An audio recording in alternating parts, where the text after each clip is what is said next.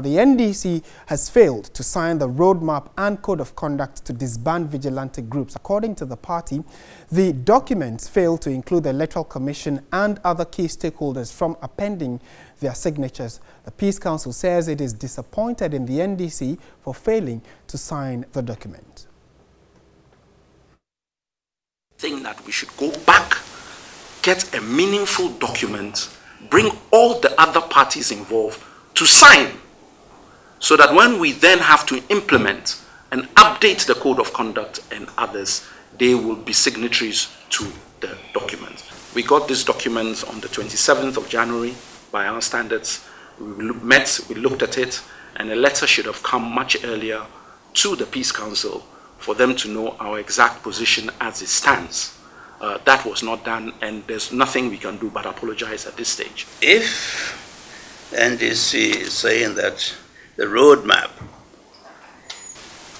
involves so many other parties and that it will not be either realistic or appropriate for them to sign the, the roadmap. Our question is that what prevents them from uh, signing the code of conduct? This would have been an important step to the public, the general Ghanaian public to console them, to let them know that their leaders within the political parties are truly committed to the peace of this country. Unfortunately, for some reason, NDC is not in a position to sign now. Other stakeholders that who have been mentioned are not going to be left off the hook in terms of committing themselves to this. We, as Peace Council, will be meeting soon after this and I stated that in my opening remarks. And we will make sure that these things will be done. That all the other things that has been stated are the job of these institutions anyway. And if we are to sign any agreement we need to have every Tom, Dick, and Harry being there to sign, we wouldn't do anything in this country. I am very disappointed.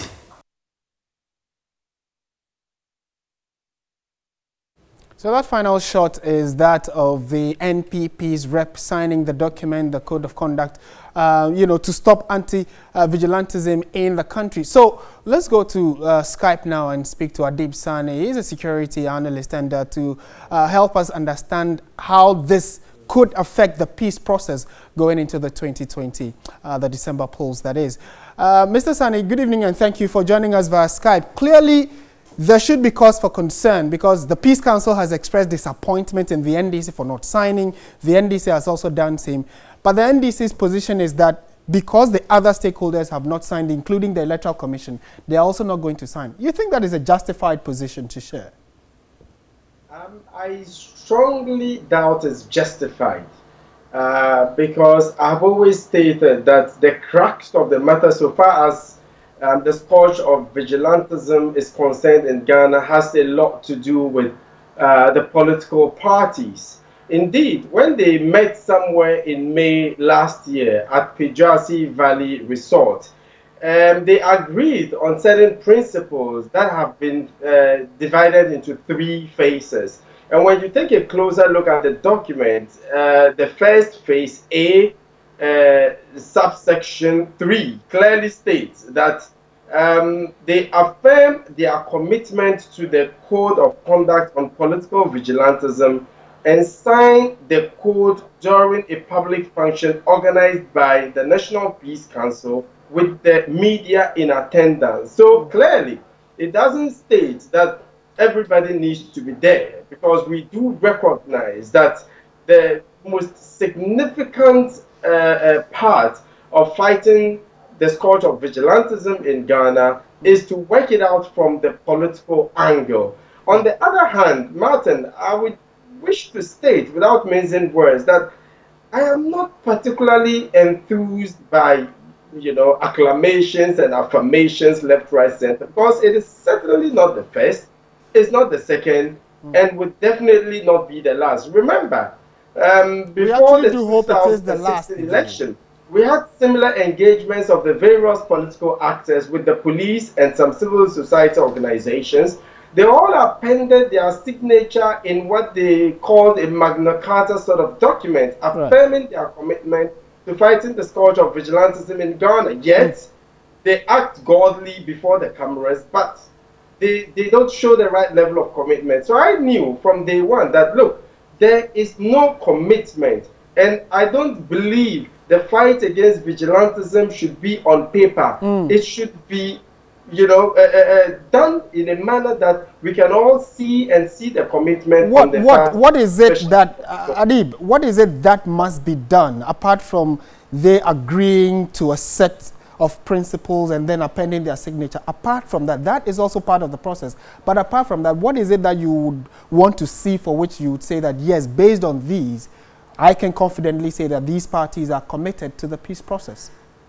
Uh, Martin, first of all, we know these guys are their voice. They help the political parties campaign. They organize rallies for them. They provide them security, especially in the heat of the elections. And so I think the biggest commitment would be for them to jettison these boys to hmm. disband the groups within their fold. When that step is taken, then we'll be convinced that indeed they are committed, then we can have the other phase two, phase three following. But the crux of the matter, like I indicated, has a lot to do with the politicians, especially who would be on TV and saying all sorts of things as if they are committed. Yet, on daily basis, you have them going around mm.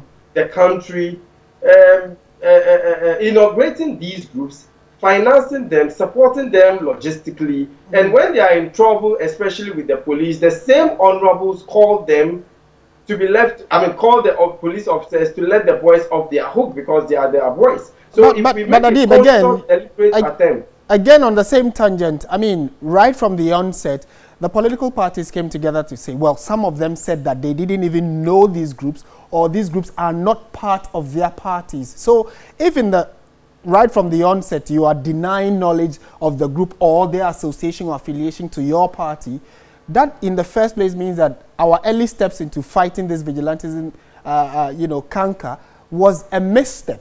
Do you agree with this assertion? Well, Martin, you've taken the uh, wind out of my sail. From day one, I mean, that, that was a clear indication of the lack of commitment. They denied the boys. They behaved like they knew them they didn't know them from Adam. Meanwhile, they are their boys. Okay, so first of all, we have to admit guilt. We have to accept that indeed these are our boys. We don't like what they're doing, and we're going to deal with it. It is also up to the politicians to cooperate with the police. We have mm. always spoken about the police being unprofessional, but the problem is when the police arrest these guys, it is the same politicians who call them mm. and tell them, oh, they are my boys. Let them go. Right. If you don't let them go, then you are victimized. So it's a problem with the politicians. Indeed, uh, Mr. Segbefia stated that there are 22 uh, recommendations, and just four of it has directly something to do with the political parties. Mm. But I must say, 90% of the issue regarding vigilantism in Ghana has to do with the politicians. So even Certainly. though it is 4 out of 22, it carries more weight mm. than the others, even though I recognize the intrinsic value of the NS, uh, NCCE, the right. Electoral Commission, uh, uh, and other civil society organizations in fighting these scourge. And okay. I wish to also state categorically that from all my studies uh, uh, uh, in and outside of the country, a common theme cuts across. Most of the conflict situations in Africa, especially, is as a result of uh, misunderstanding with regard to the political or election process. From right. Togo to Ivory Coast between 2010 2011, Liberia, Sierra Leone, and a whole host of others. And I don't want to believe we want to go that, that direction. Okay. Thank you so much, Adib Saani, for making time to speak with us. Pleasure talking to you as always. Adib Saani is a security analyst.